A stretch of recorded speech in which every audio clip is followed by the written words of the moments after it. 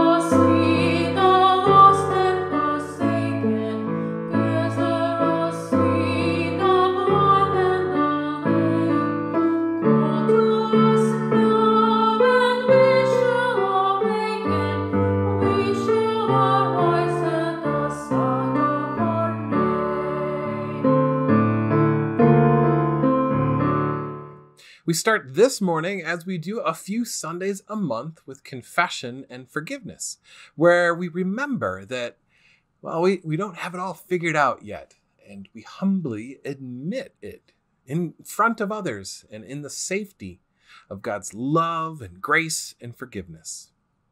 In the name of the Father, and the Son, and the Holy Spirit, Amen. God of all mercy and consolation, come to the help of your people turning us from our sin to live for you alone. Give us the power of your Holy Spirit that we may confess our sin, receive your forgiveness, and grow into the fullness of Jesus Christ, our Savior and Lord. Amen. Let us confess our sin in the presence of God and one another. Gracious God, have mercy on us. We confess that we have turned from you and given ourselves into the power of sin we are truly sorry and humbly repent. In your compassion, forgive us our sins, known and unknown, things we have done and things we have failed to do. Turn us again to you and uphold us by your Spirit, so that we may live and serve you in newness of life through Jesus Christ, our Savior and Lord. Amen. God, who is rich in mercy, loved us even when we were dead in sin, and made us alive together with Christ. By grace you have been saved, and in the name of Jesus Christ, your sins are forgiven. Almighty God, strengthen you with power through the Holy Spirit, that Christ may live in your hearts through faith. Amen.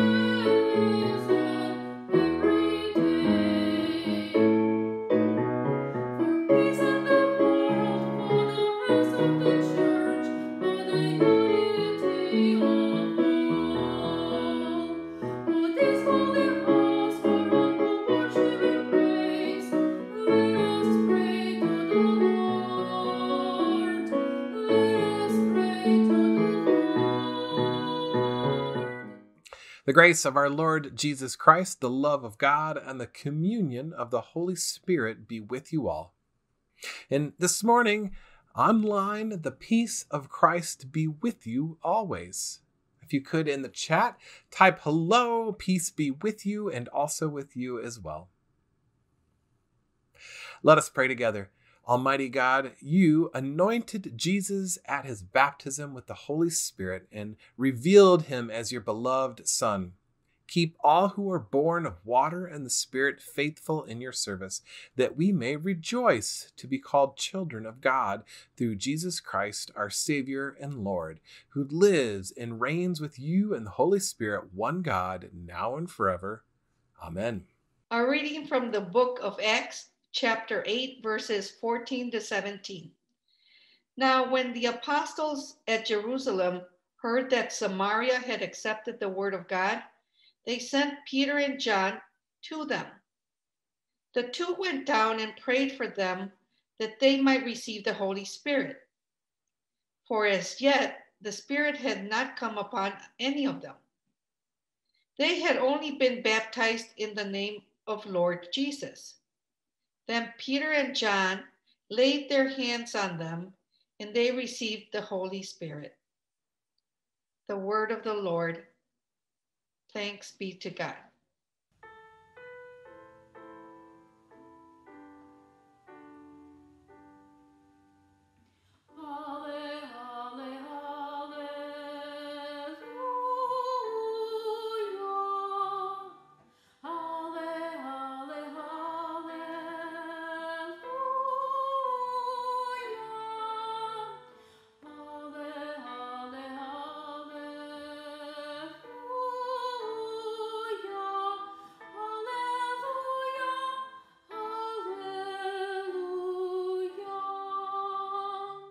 Morning's Holy Gospel comes to us from Luke. Glory to you, O Lord.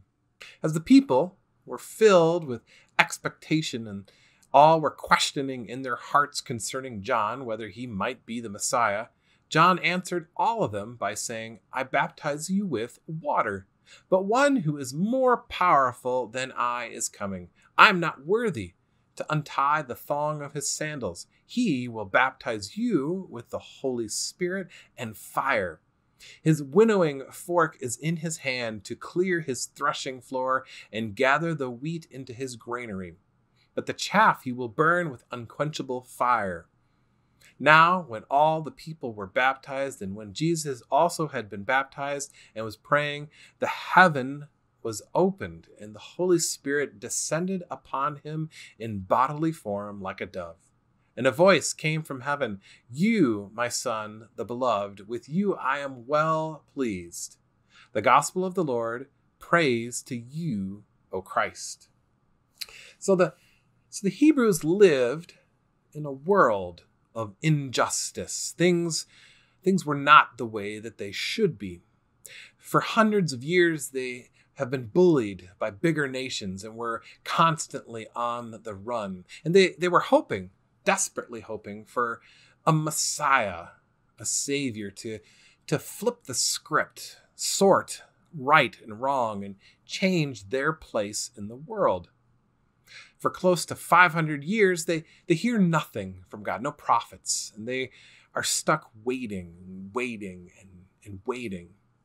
And then, and then comes John the Baptist telling the Hebrews, telling the people to get ready. It is finally happening. And while John does some amazing things during his time as a prophet, paved the way for Jesus, called the people to repentance, John doesn't fix their problem. But the Hebrew people were hopeful that maybe John would grow into being his Messiah and deliver them from the oppression of Rome. Then comes Jesus, and John makes it abundantly clear that this, this is the Messiah. Not him, but Jesus. And that sorting of, of right and wrong, Jesus is going to be the guy that will do it. His winnowing fork is in his hand to clear the threshing floor and to gather the wheat into his granary, but the chaff he will burn with unquenchable fire. So, this is a common agricultural illustration that was frequently used in, in Bible times in the biblical world. The harvest grain, the harvested grain, is taken to the threshing floor and cleaned. It's, it's separated and they would toss a portion of the harvested grain in the air with a winnowing fan. It's like a fork like shovel. And then they would let the wind do the work. You see, the wind takes control of the process, separating the wheat from the chaff, which is a mixture of heavy husks and straw. The wheat falls away from the chaff. They don't need the chaff, it's collected and burned. And the wheat that remains and is safely stored in the barn. So finally, someone with authority and power is coming to clean up this mess that they live in. John names and claims Jesus and later saying, This, this is the one I have told you about. And to put frosting on this uh, prophetic cake, John baptizes Jesus the heaven was opened and the Holy Spirit descended upon him in bodily form like a dove. And a voice came from heaven You are my Son, the beloved, and with you I am well pleased. So, if it wasn't apparent before, it is now. The prologue of the story is clear. The stage is set. The author of Luke then follows up with the genealogy of Jesus to kind of root his identity in scripture and prophecy of their forefathers, and then follows that with Jesus fulfilling Old Testament prophecies. And then later in Luke, follows that with a series of Jesus' miracles, showcasing his God given authority in the heavenly and natural world. Luke Luke is doing his absolute best to let the reader know who Jesus is his power, his authority, his divine appointment. Jesus needed this setup because, frankly, the Hebrew people lived a very confusing life.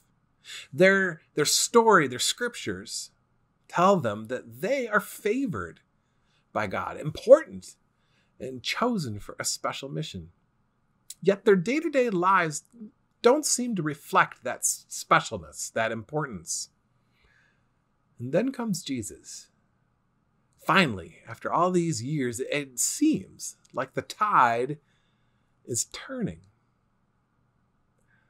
We've had a lot of waiting over the last couple of years ourselves, maybe maybe not as much as the Hebrew people. But it certainly seems like a lot of waiting and our world is certainly it's certainly a mess. I feel like the world could could use a good threshing and winnowing. It's a confusing time to live right now, and it would be nice to have God sort for us right and wrong and and set things straight, separate the wheat from the grain and the shells from the pistachios. The hardest part for the Hebrew people to accept wasn't Jesus as Messiah, but Jesus as suffering servant. Let's say it again. The hardest part for the Hebrew people to accept wasn't Jesus as Messiah, but Jesus as a suffering servant. Because why would the God of the universe, with all the authority of heaven and earth to clean up a broken world, choose to be a sacrificial lamb? The author of Luke spends the first quarter of his book, of his gospel, showcasing Jesus' rightful place as God's Messiah through symbolism, genealogy, prophetic authority, and miracles. And then he tells his audience a story of sacrificial love, not power and might. And then he invites his readers to join in that same movement of sacrificial love. For a group of downtrodden people looking for looking for a winning quarterback, this really had to be a hard pill to swallow. Where was this Messiah who was going to lift up their people, to, to set everything right? Dear love, the world we live in right now. But if being right worked change people's minds, we'd be in a much different place right now. You, you can be right all day long and nobody cares. They don't. I don't know if you've ever looked at online arguments, Facebook arguments. Everybody, everybody's right. Nobody's wrong. Everyone's their own best authority. Being right is not enough. But being loving is. I have good news for you this morning. In a world where facts mingle with fiction, where every fact is twisted and tailored to suit somebody's narrative, you don't even have to play. All you are called to do is love. You aren't called to be right. You aren't called to know everything. You are called to love and to live out loving actions. Where people are oppressed, you lift up. Where someone is wasteful, you can be thoughtful. Where someone is angry, you, you can bring peace. And instead of hating or writing people off totally, you can understand their concerns, even if you don't share them. The next few weeks are set to be confusing and tough and, and filled with that W word, waiting. We are all tired of this, and it seems like it will never end, but the fact remains you and I have a calling to love the world and the people around us. Our calling does not change. Our creativity is stretched. Yes, we might have to think harder when we're tired. Our patience might be exercised. We might need to be more thoughtful. But God calls us to be healing, loving agents to those around us in a culture that is confusing and mixed up. But the Holy Spirit empowers us beyond our own capabilities. Jesus doesn't give us a call we cannot do, and He doesn't leave us alone to do it. The winnowing wind of the counseling Spirit will enliven and empower us in all circumstances, as was promised to us in the scriptures we read each week. And it's in that trust and with that calling that we pray this morning. Creator God, Redeemer God, and God of all counsel and might, we lift up our messy and broken world. We lift up our messy and broken selves. We all feel stretched, exhausted, and, and heartsick. We need the power of your spirit to make it through another week, sometimes another hour or a minute. I know I am grateful that Christ didn't come to a culture that, that had it all figured out. And the scriptures weren't given to some mystical city on a hill. It came to and through messy, broken people doing their best in difficult circumstances. This morning, we ask that you give us the strength of all that lineage of people who have come before us, living in faith all around the world. We ask for the empowerment of your Spirit to help us pause, think, be loving instead of reacting in stress and anger. And we are forever grateful to be a part of your church as a refuge in the storm with an arm out for others who need that shelter as well. It's in the hope of your Spirit that we pray. Amen.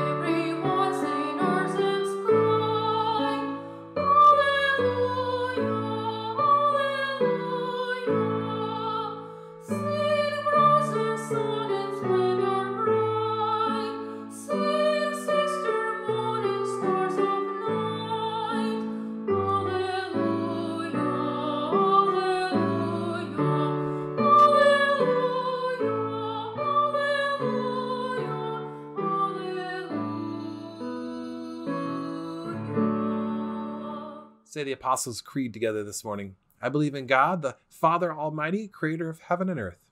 I believe in Jesus Christ, God's only Son, our Lord, who was conceived by the Holy Spirit, born of the Virgin Mary, suffered under Pontius Pilate, was crucified, died, and was buried. He descended to the dead. On the third day, he rose again. He ascended into heaven, and he is seated at the right hand of the Father, and he will come to judge the living and the dead. I believe in the Holy Spirit, the Holy Catholic Church, the communion of saints, the forgiveness of sins, the resurrection of the body, and the life everlasting. Amen. The Spirit of the Lord is poured out upon us in abundance. So we are bold to pray for the church, the world, and all that God has made. By the Holy Spirit, you gather your church and send it out in mission to share the good news of Jesus. Inspire your faithful people to be fervent in prayer and service, that all people know they are precious in God's sight. God of grace, hear our prayer. You reveal your love and power through water and the Spirit. Guard rivers, seas, and all bodies of water from destruction and pollution secure access to clean water for all, and protect the land from drought and flood. God of grace, hear our prayer.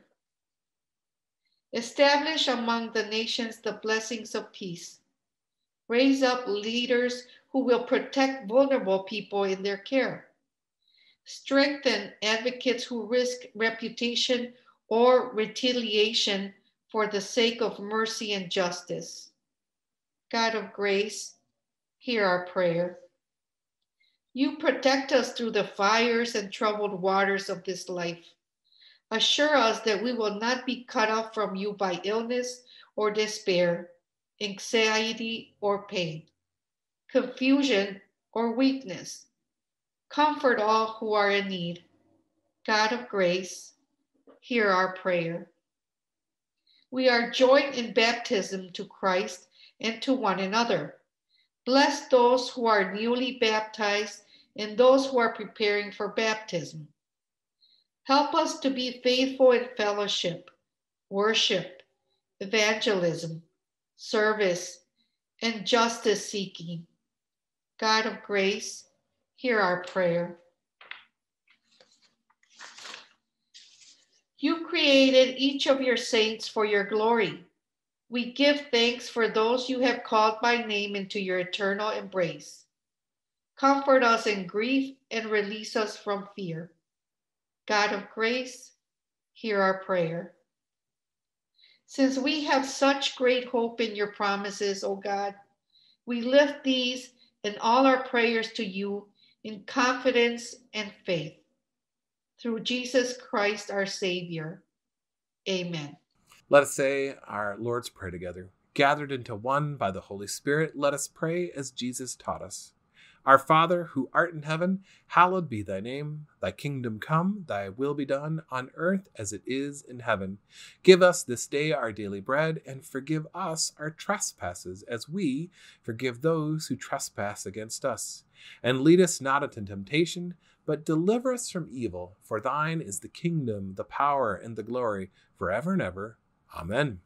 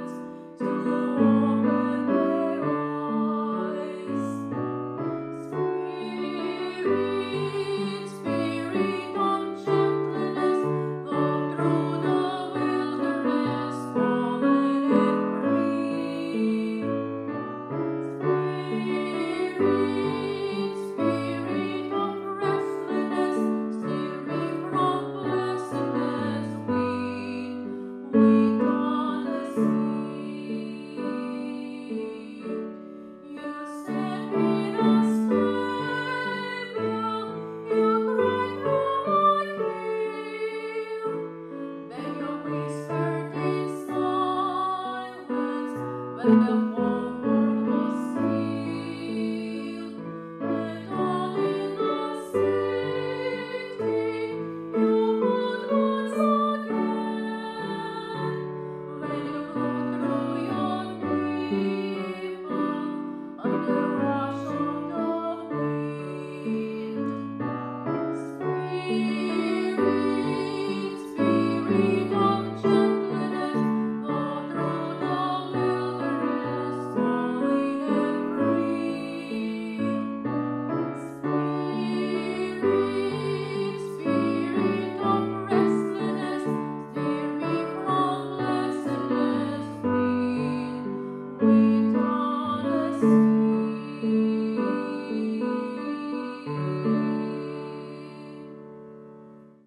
for our blessing. The Lord bless you and keep you. The Lord the Lord's face shine on you with grace and mercy, and the Lord look upon you with favor and give you peace. Amen.